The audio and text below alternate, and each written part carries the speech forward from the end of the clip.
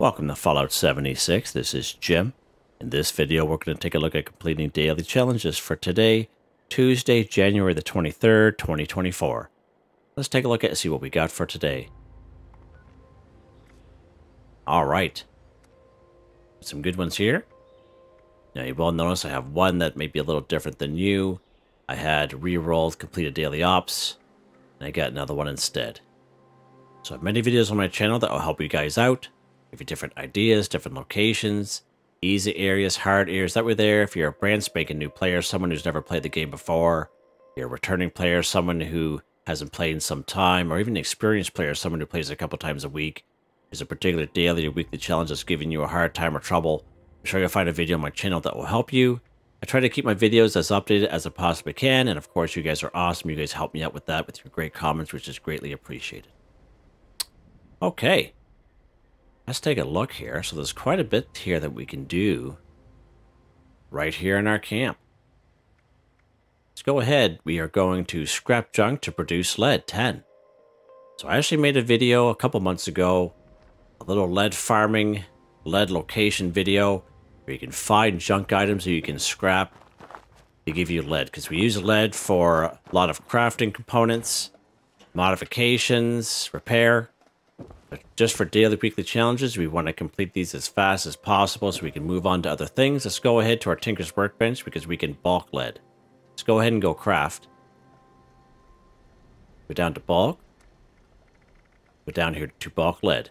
As long as you have 20 lead scrap, 2 plastic in your stash of scrap box, this method will work for you. So let's go ahead and bulk just one. That's all that we need. Let's back out. Now let's scrap. Let's scrap the bulk lead we just crafted. Done. Scrap junk to produce lead 10 for 10. Easy. Okay. What's next here? What else can we do in our camp Jim? Craft or scrap a melee weapon, 5. So melee weapons, you can find Scorched, Super Mutants in the Wasteland that will carry melee weapons on them. However, if you're looking for the fastest, quickest, easiest way, which is what I usually kind of tend to for these videos, just to show you how quickly they can be done, we can go ahead and craft a couple melee weapons at our weapons workbench. Let's go ahead and do that. Let's go ahead and go craft. So we have these blunt melee weapons here, and I always kind of promote baseball bat and board. So baseball bat and board are two plans that I remember learning right off the hop. I've had these plans almost like almost right out of the vault. and they don't cost a lot of resources. So let's go ahead. We're going to craft three baseball bats level one, two plastic five wood each. Go ahead and craft three of them. Okay. Let's go ahead and back out. Let's go ahead and scrap. I scrap those baseball bats we just crafted. Done. Just like that. But there's nothing stopping you from going in the wasteland and hunting down some scorched and super mutants and taking their melee weapons and scrap. Nothing stopping you at all. But faster and quicker, easier, easier way so you can move on to other things. You can just craft a couple and then scrap them right at your camp. Okay, what's next here? What is next? Eat pre-war food. Five. Perfect. So here we talk about pre-war food. I have several videos out there where I go through the entire list. For those of you who know me, I carry a lot of stuff, a lot of food and drink on me, okay? And I mainly do that just for daily, weekly challenges, okay? Uh, you guys know I'm a big fan of canned dog food and such, but um, I, I mainly hold on to this stuff for the daily, weekly challenges, okay? So again, pre-war food. Another thing you can use is popcorn. If you have the OG popcorn machine, like I have this one here, or, the, or you have the Hollywood one, popcorn also counts. Candy from these candy machines, this red one, and this bluish purple one that we got in season 11, the candy also counts as pre-war food also. Uh, canned coffee. Canned coffee counts. So this guy here we, ha we have in the Atomic Shop this week. Slocum Joe's coffee machine. See, can four can coffee. Let's go ahead and uh, try one. See that? Canned coffee, just like that, guys. Buy your coffee machine. If you don't have, you know, pre-war foods, you get that in your camp. What else we got? Let's try the company tea. I don't think I tried the company tea before. Let's try the company tea, because the company tea we got on season 15 scoreboard, the scoreboard that we're on right now. Let's check that out. Right up here. So everyone should have a company tea machine on them. So let's see if it let's see if it works. Nope, company tea does not work. That backfired, Jim. Right on, buds. right on, buds. Right on. Okay. So, popcorn, candy machines. Let's try this out. Let's try this out. Let's go down here to popcorn. There we go. Popcorn from the popcorn machine. We got uh, Nuka-Cola Quantum Candy from the uh, bluish purple candy machine. Okay. Uh, let's try canned dog food. You guys see me carry around canned dog food. Okay. Another one. Bubblegum. So bubblegum, everyone should have bubblegum on them. When you open up perk card packs, you'll get free bubblegum in the perk card pack. A lot of people will dump them, but I save the bubblegum for these daily weekly challenges. Let's try the bubblegum done, just like that. Eat pre-war food five for five. So you so if you have a bunch of uh, you know bubblegum on you, you know, by all means, you know, just eat five of them and you're done. Right? Perfect bubblegum. Watermelon perk bubblegum, right? Those are the bubblegums you would get from those, uh, and just regular bubblegum. You would get from the uh, opening perk card packs. Okay? To give you a few examples. I wish there was more, but you could check out those videos if you like. And I go through the whole list, everything that I have, just to give you examples. What counts and what doesn't count. Okay, what's next here, Jim? I think that's pretty much what we can do here in our camp. Um, we can do this one here. We can go ahead and craft the ranged weapon, but uh, I'd rather go and uh, find some ranged weapons and scrap them because we got to go after some Blood Eagles anyway.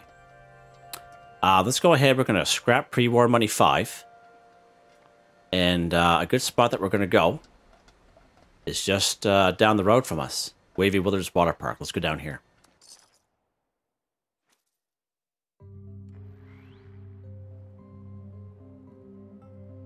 Okay, we're here at uh, Wavy Willards Water Park.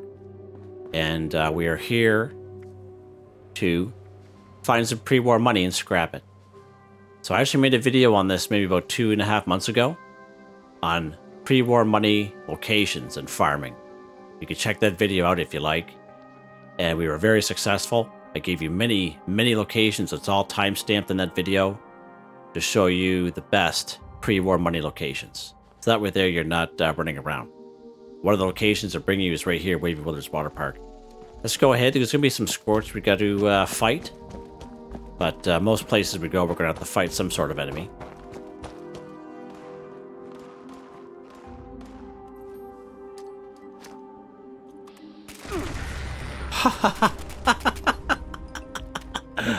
right on, Jim. They didn't know what hit them. That goes the same for me.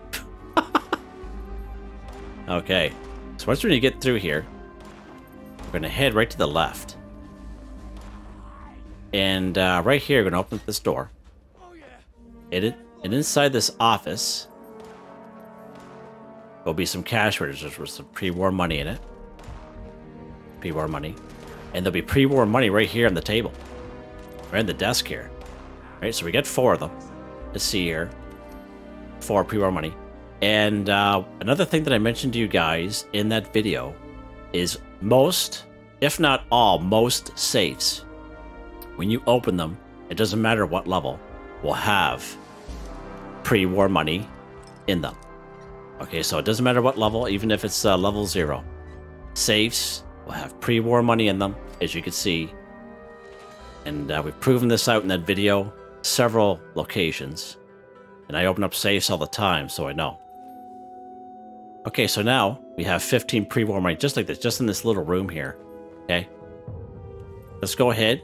Uh, we can go to uh, any old workbench. Let's go down here to Grafton Station. It's just nearby. just to use the uh, workbench in the train station. Any workbench will do. Alright, let's put this away.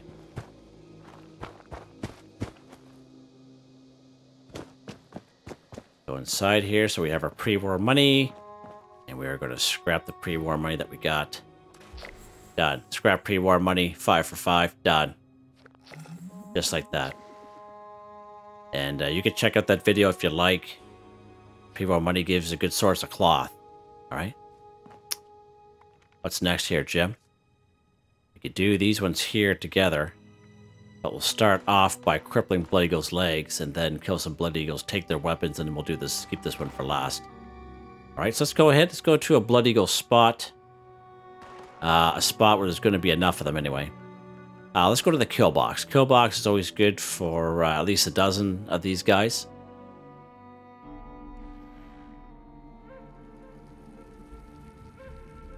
Okay, we're here at the kill box.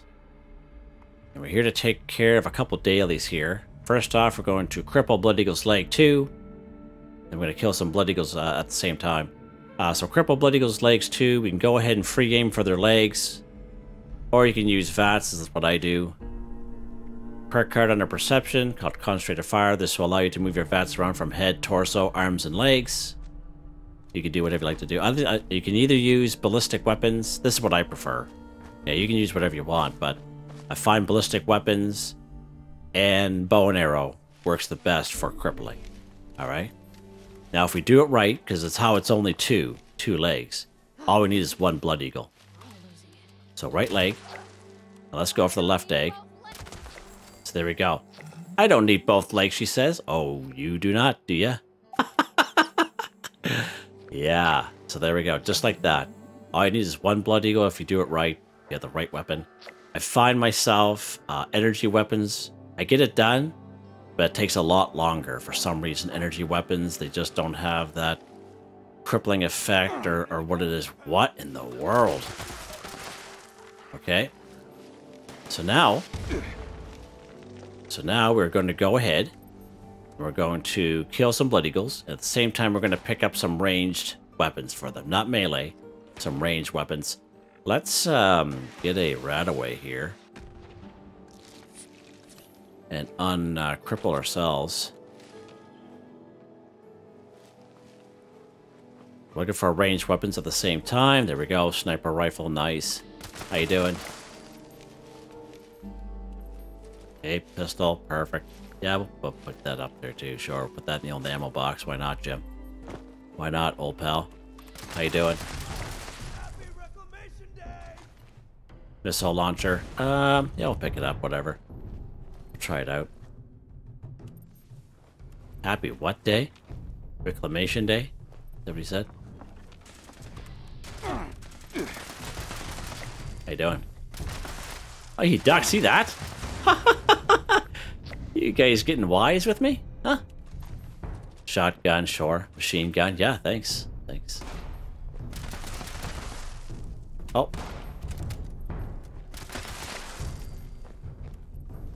Laser rifle, thank you. Lock and load gems, head upstairs. Hi. How you doing? Nice to meet you. No baseball bat, we're not going to bother with that. Combat rifle, sure. So you can see, you can, you know, you can pick up some melee weapons, but I find Scorched and um, super mutants for for melee weapons in the forest is a little bit better than other enemies. There we go. Kill Blood Eagle 10 for 10. Just like that, guys. Revolver, nice. Leave those stim packs. So there we go. Uh, let's see what we got there. So what we get left is craft or scrap a ranged weapons five. So as I said, we could have crafted some ranged weapons, something that doesn't cost a lot of resources. But I decided, you know what, we're going to be killing some Blood Eagles, so we might as well just grab some ranged weapons from them. And there's a Tinker's Workbench downstairs, so we'll go ahead and scrap them downstairs here. Alright. Let's go ahead and go scrap. Weapons, combat rifle we picked up here. This laser rifle. One thing good about scrapping, especially when you're a new player, you will learn mods from scrapping, okay? So it's not a total loss. You won't learn mods every single time, but most of the time, especially when you're when you're brand new to the game. I see this missile. Yeah, it does. Oh, missile launcher, yeah. This, uh, up with the shotgun here. Nice. There we go. Uh, craft a scrap a ranged weapon. In this case, we took them off these Blood Eagles, which were, oh, look at that. See, I, uh, I even learned something there. That's when you think you know it all, right? Um, let's get in the light here. Radio jammer. Awesome. Uh, and that's it, guys. We are done. Just like that. Perfect. So that's one thing I try to show you guys, especially if you're new to the game, new to my channel. I try to show you guys, you know, an easy way, try to think out, you know, where things are, and that's what I try to train people and show people, you know, the, the way to get these done early so you can move on to other things.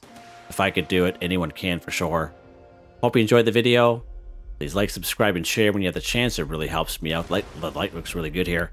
Uh, I'd like to thank my channel members, Artistically Arranged, Boogaloo Bronson, Michael Edwards, Nigel Wiffen, Heather, White Tribe, Starwind 138. Thank you all so very much, and I hope you all have a nice day.